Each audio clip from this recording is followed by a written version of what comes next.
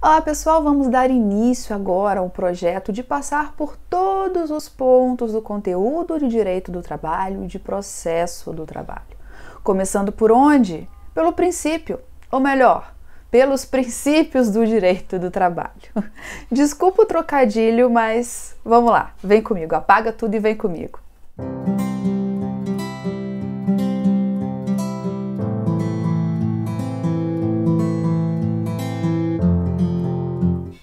O tema do vídeo de hoje é princípios do direito do trabalho, ou melhor, o princípio da proteção. Cada vídeo a gente vai trabalhar um princípio específico, né? Porque o propósito aqui do canal é fazer vídeos pontuais. Então, ao invés de eu fazer um vídeo todo falando de cada princípio, cada videozinho vai ser sobre cada princípio do direito do trabalho, começando pelo princípio da proteção.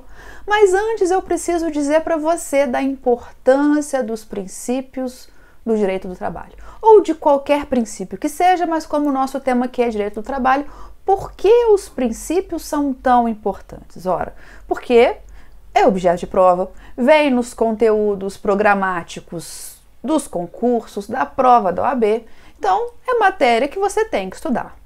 E além disso, os princípios, eles te dão uma base para você responder uma questão que você não sabe na sua prova. Se você não sabe a resposta, você vai pensar de acordo com os princípios do processo do trabalho. Porque os princípios do processo do trabalho e de qualquer princípio, né, os princípios do direito, eles têm três funções. Olha só, é a função de inspirar, de interpretar e de integrar. Como assim? Inspirar o legislador na hora de criar as leis. Então, os princípios do direito do trabalho inspiram os legisladores a criar as leis de acordo com os princípios. Mas também serve para interpretar uma norma. Às vezes a norma ela não é tão clara e aí você interpreta de acordo com os princípios do direito do trabalho. E a terceira função, que é de integrar quando há uma lacuna. É impossível que a gente tenha uma legislação que preveja todos os casos e determinada situação que não houver previsão legal. O juiz pode deixar de julgar um caso porque não tem lei versando sobre aquele caso? Claro que não. Então, o que, que ele faz quando não tem uma norma? Ele utiliza princípio, os princípios do direito como é, fonte de integração da norma, para integrar, para preencher essa lacuna. Então, os princípios do direito, e aqui trazendo para o direito do trabalho, tem essas três funções: de inspirar, de interpretar e de integrar o direito. E como eu disse, vamos falar hoje sobre o princípio da proteção, que é o princípio clássico, típico do direito do trabalho. Sei que é muito comum as pessoas falarem que a justiça do trabalho protege o trabalhador, que a justiça do trabalho ela é, beneficia o empregado. Gente, não é a justiça do trabalho. É o direito do trabalho que nasce com essa função de proteger o trabalhador, porque o trabalhador, obviamente, é a parte mais fraca dessa relação. Né? O direito do trabalho e o princípio da proteção eles visam harmonizar essas, esses dois lados entre capital e trabalho, capital e mão de obra, né? que sempre existiu esse conflito. É claro, quem é o dono dos meios de produção? O empregador. Quem é que tem, quem é o detentor da mão de obra, quem executa o trabalho?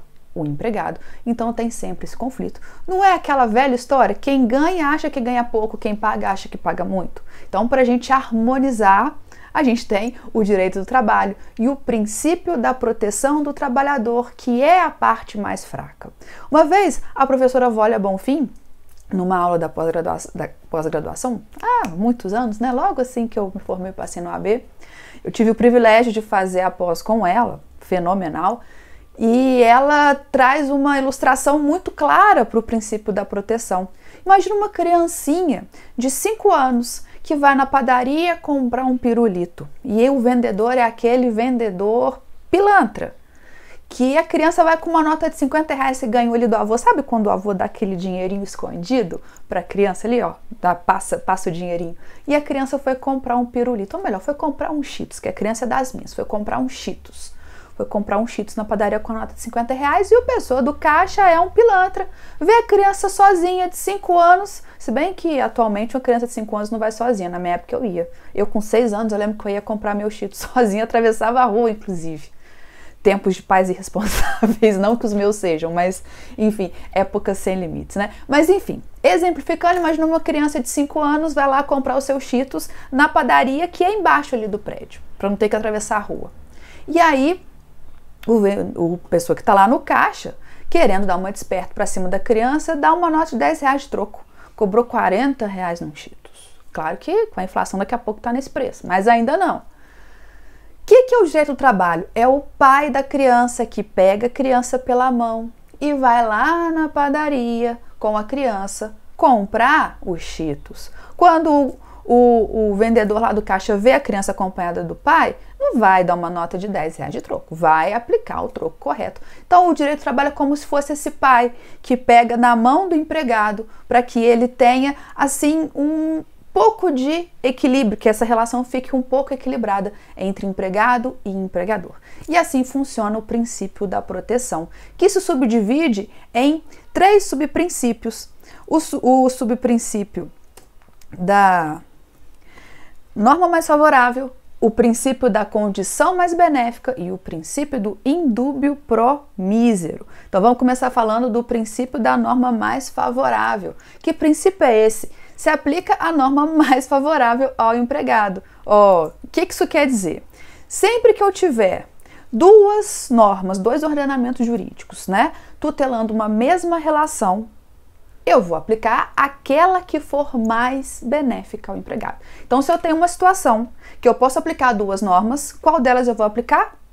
A norma mais favorável. E aqui tem uma diferença daquele daquela clássica hermenêutica que a gente está acostumado a trabalhar nos outros ramos do direito. Por exemplo, quando eu tenho conflito de normas no direito civil, qual que é a norma que eu vou utilizar? Eu tenho o princípio né, da hierarquia, né, daquela pirâmide de Kelsen, lembra? Primeiro a Constituição, e vai descendo, descendo, descendo, descendo, descendo. Constituição, é, normas supralegais, lei, lei ordinária, lei complementar, né, e vai descendo. Aqui no processo, no direito do trabalho, não. Eu tenho a norma mais benéfica. Não importa em que nível de hierarquia ela está, eu vou utilizar a norma mais benéfica. Também o critério cronológico, que é o que a gente conhece, né, a norma mais atual, se aplica e não a norma anterior. Claro, se uma tiver revogada a outra, eu não vou aplicar uma norma revogada. Mas no direito do trabalho, em regra, se aplica a norma mais favorável. E por que, que eu falo em regra? Porque esse não é um princípio absoluto que cada vez mais vem sido esvaziado, principalmente após a reforma trabalhista. Princípio da norma mais favorável, o princípio da proteção como um todo, vem sendo esvaziado e a reforma trabalhista foi é, um marco nesse esvaziamento do princípio da proteção e da norma mais favorável, porque, como eu disse, em regra prevalece a norma mais favorável. Mas por que em regra? Porque temos exceções e eu trouxe elas aqui para vocês. A primeira é da norma de ordem pública. Como assim? Se eu tenho uma norma de ordem pública, eu vou aplicar a norma de ordem pública independente dela ser mais ou menos favorável. Marina, me dá um exemplo. Prescrição. Prescrição é matéria de ordem pública, certo? Eu posso ter uma norma prevendo uma prescrição dos direitos trabalhistas prevendo a prescrição em 10 anos? Bom, a CLT prevê a prescrição bienal e quinquenal, né? Da mesma forma que a Constituição Federal prevê a prescrição bienal e quinquenal. Se eu tiver uma norma prevendo uma prescrição de 10 anos, ela é mais favorável ao empregado? Com certeza. E se aplica por ser mais favorável? Não, porque prescrição é matéria de ordem pública. Logo, eu aplico a prescrição, a norma de ordem pública, eu não aplico a mais favorável.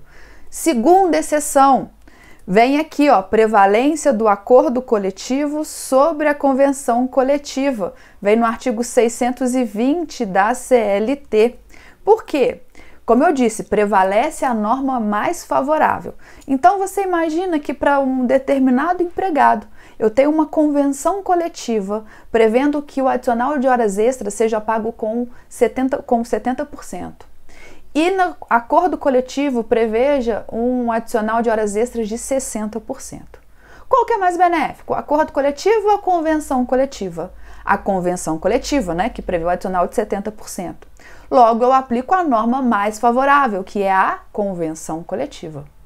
Isso era assim antes da reforma trabalhista, porque a reforma trabalhista incluiu o artigo 620. Olha o que ele fala. As condições estabelecidas em acordo coletivo de trabalho sempre prevalecerão sobre as estipuladas em convenção coletiva de trabalho. Ou seja, o acordo coletivo de trabalho sempre vai prevalecer sobre a convenção, ainda que a convenção seja mais benéfica. Então, é uma segunda exceção ao princípio da norma mais favorável. Primeiro, matéria de ordem pública. Segundo, artigo 620, acordo coletivo prevalecendo sobre convenção coletiva. E ainda falando de normas coletivas, a gente tem a terceira exceção, que é o artigo 611-A da, da CLT, desculpa, que é a famosa prevalência do negociado sobre o legislado. A convenção coletiva ou acordo coletivo de trabalho tem prevalência sobre a lei quando, entre outros, dispuserem sobre. E aí, o artigo 611-A traz um rol de possibilidades em que a convenção coletiva vai prevalecer sobre a lei, ainda que seja prejudicial ao empregado. Então, se eu tenho uma norma coletiva que prevê de forma diferente da lei e prejudicial ao empregado, prevalece? Prevalece, desde que, obviamente, né, não seja vetado, é, que venha lá no artigo 611b, não pode ser objeto de norma coletiva. Fora isso, o que, que não pode ser? Basicamente, os direitos que são regulamentados pela Constituição Federal. Outros direitos que são lá pela lei, por exemplo, adicional noturno né? A Constituição diz que o adicional noturno, a hora noturna tem que ser paga em valor superior ao diurno, mas não fala qual é a porcentagem. Se eu tenho uma convenção coletiva que estabelece que o adicional noturno, ao invés de 20%, seja de 15%, vai prevalecer o acordo? Vai prevalecer o acordo coletivo, em detrimento da lei. Por quê? Pela própria previsão do artigo 611b. 611A, desculpa, está sendo a hora noturna remunerada em valor superior, então prevalece sobre a lei. Quarta exceção é do empregado hipersuficiente. Quem que é o empregado hipersuficiente? É aquele que vai lá no artigo 444, parágrafo único. As relações contratuais de trabalho podem ser objeto de livre estipulação das partes interessadas em tudo quanto não contravenha as disposições de proteção ao trabalho, aos contratos coletivos que lhes sejam aplicáveis e as decisões das autoridades competentes. Parágrafo único. A livre estipulação a que se refere o caput desse artigo aplica-se às hipóteses previstas no artigo 611-A, ou seja, tudo que pode ser negociado por acordo ou convenção coletiva e prevalece sobre a lei, com a mesma eficácia legal e preponderância sobre instrumentos coletivos, no caso de empregado portador de diploma de nível superior e que perceba salário mensal igual ou superior a duas vezes o limite máximo dos benefícios do regime geral de previdência social.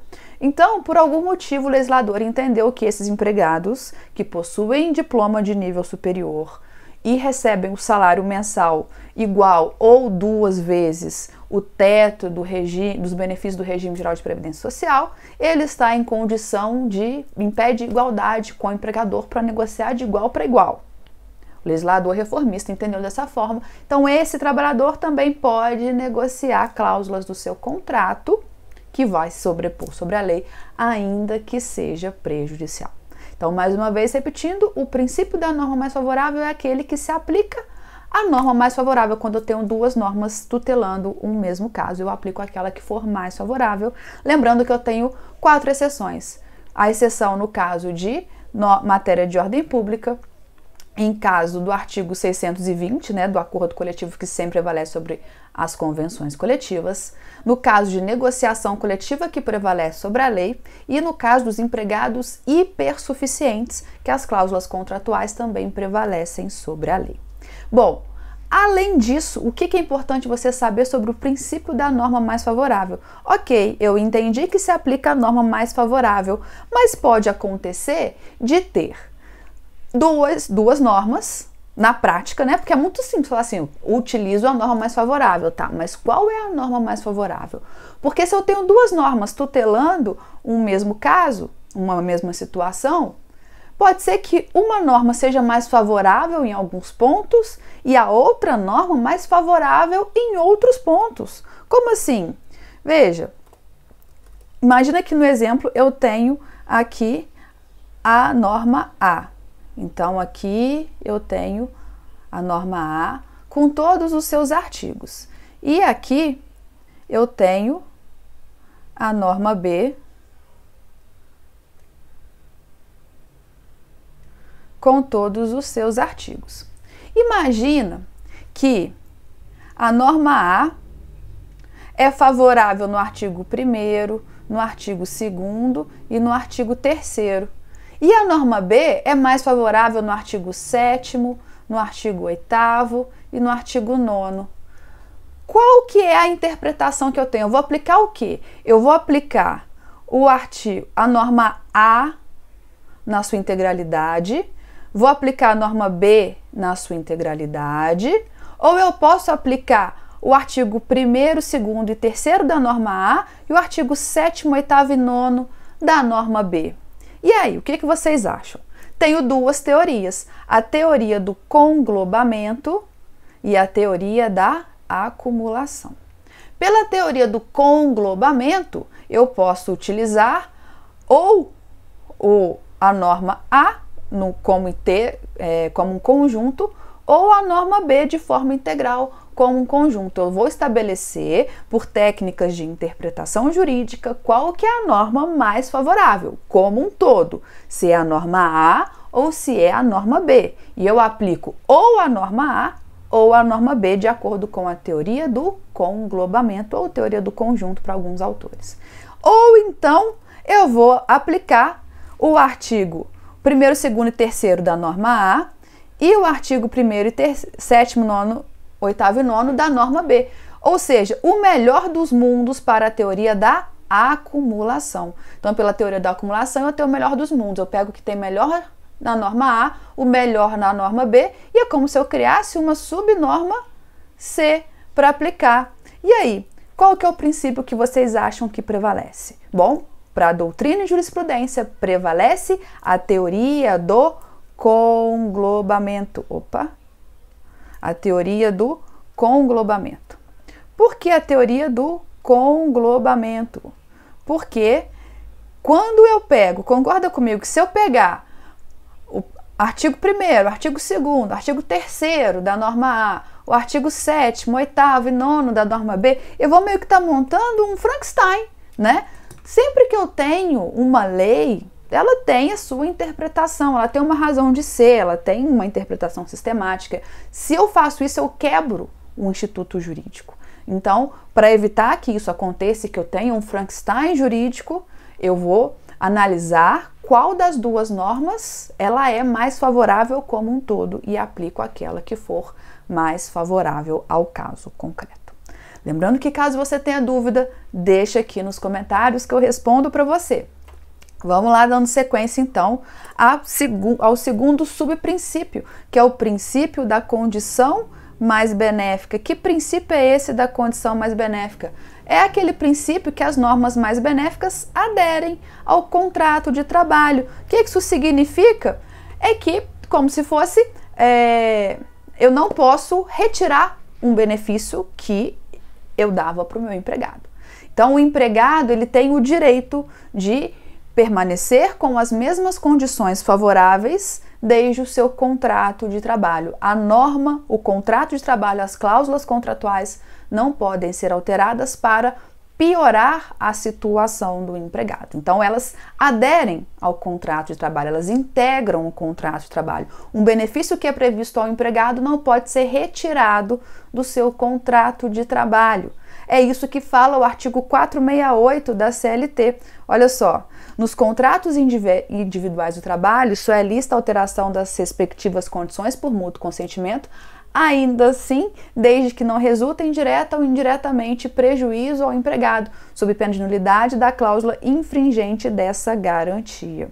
Significa que, se eu contratei um empregado e um empregado imagina que ele trabalha para uma loja de uma perfumaria. E todo mês esse empregado ganha produtos é, da perfumaria no valor de 200 reais.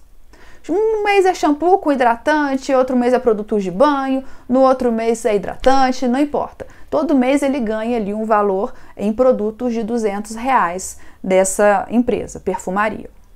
E aí vem a crise econômica e o empregador quer fazer o quê?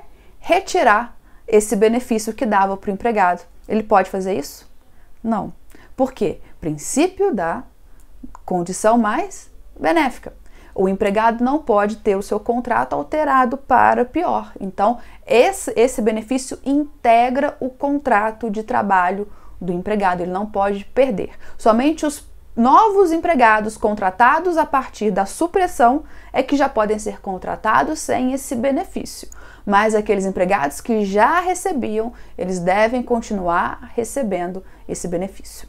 Uma observação que eu faço em relação à cesta básica, né? Cesta básica era o exemplo que a gente sempre dava. A empresa fornecia cesta básica e parou de fornecer cesta básica. Se a empresa fornecia cesta básica por mera liberalidade, ela incorporava o contrato de trabalho, né? E a CLT passou a prever expressamente que é, o, o auxílio alimentação, exceto o que é pago em dinheiro, né? Ele não integra mais a remuneração do empregado, não incorpora ao contrato de trabalho. Então a empresa pode retirar, desde que não seja pago em dinheiro, certo? Feita essa observação, vamos ver uns exemplos aqui que a jurisprudência traz para gente sobre esse princípio da condição mais benéfica. Olha o que diz a súmula 51, item 1 do TST. As cláusulas regulamentares que revoguem ou alterem vantagens deferidas anteriormente só atingirão os trabalhadores admitidos após a revogação ou alteração do regulamento. Tá vendo? Cláusulas regulamentares que revoguem ou alterem vantagens deferidas anteriormente só atingirão os trabalhadores admitidos após a revogação ou alteração do regulamento. Súmula 288, item 1 do TST, a complementação dos proventos de aposentadoria instituída regulamentada e paga diretamente pelo empregador, sem vínculo com entidades previdenciárias privada fechada, é regida pelas normas em vigor na data da admissão do, opa, da admissão do empregado, ressalvadas as alterações que forem mais benéficas. Então percebam que, opa, o que, que eu fiz? Meu Deus, voltei. então percebam que a própria a própria jurisprudência consolida esse princípio da norma mais favorável. E além do princípio da norma mais favorável, tem o princípio, o subprincípio do indúbio pro mísero. O que, que é o indúbio pro mísero ou indúbio pro operário? Ah, só uma coisa que eu esqueci de falar aqui, ó, do princípio, desculpa, do princípio da condição mais benéfica. Não tem aplicação no direito coletivo. Por quê? Se eu tenho uma norma coletiva que institui uma vantagem ao empregado, o empregado só tem essa vantagem enquanto estiver em vigor a norma coletiva.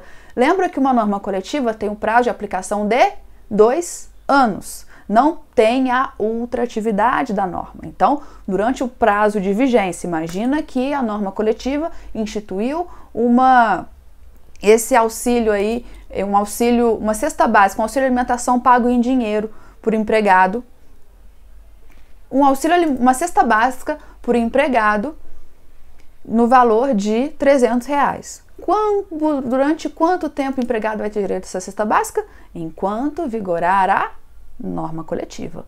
Acabou a norma coletiva, esse, dinheiro, esse direito não se incorpora ao contrato do empregado. Somente se outra norma coletiva instituir o mesmo benefício é que ele continua tendo direito, caso contrário, ele não tem direito. Agora sim, indo para o princípio da do indúbio pro mísero ou indúbio pro operário. Isso é um princípio de interpretação mais favorável ao empregado. Ou seja, sempre que em determinado caso concreto eu estiver em dúvida sobre a aplicação de uma lei, eu vou sempre interpretar em benefício do empregado. Sempre não. O professor aqui cometeu um erro em regra, na dúvida, interpreta-se a favor do empregado, indubro pro mísero, indubro pro operário. Mas temos duas exceções importantíssimas. Primeiro, no processo do trabalho não existe isso. Por quê? No processo do trabalho, as partes estão em igualdade. Eu não posso privilegiar uma parte em detrimento de outra. Então, no processo do trabalho, eu não utilizo o princípio do indúbio pro mísero, somente no direito material do trabalho. E também na apreciação de provas. Na dúvida, eu não vou é, utilizar o princípio do indúbio pro mísero. Ah, tô na dúvida é, se ele conseguiu provar qual parte que produziu a prova. Eu vou utilizar o princípio do indúbio pro mísero? Nunca. Aí eu utilizo a regra da distribuição do ônus da prova. De quem era o ônus de comprovar aquele fato? Ele conseguiu se é, ele co conseguiu é, comprovar? Não, ele não é, comprovou então, continuou com o ônus da prova. Então, vou decidir de acordo com o ônus da prova. A parte desincumbiu ou não desse ônus. E não utilizando o princípio do indúbio pro mísero. Resumindo, indúbio pro mísero sempre que estiver em dúvida sobre a interpretação de uma norma, eu vou interpretar de acordo que, com o que for mais favorável ao empregado. Somente no direito material do trabalho e até porque provas também, né, direito processual. Então, somente em relação ao direito material do trabalho. Bom, falamos aqui sobre o princípio da proteção. Na nossa no próximo vídeo eu volto falando sobre outros princípios do direito do trabalho. Espero que você tenha gostado desse vídeo. Caso tenha sido útil para você, deixa o like aí, compartilha com quem também você acha que o vídeo vai interessar, se inscreve no canal para você sempre receber a notificação de novos vídeos e eu te espero no próximo vídeo. Lembrando que as dúvidas que você tenha é só deixar aqui nos comentários e eu te espero no nosso próximo vídeo. Até lá!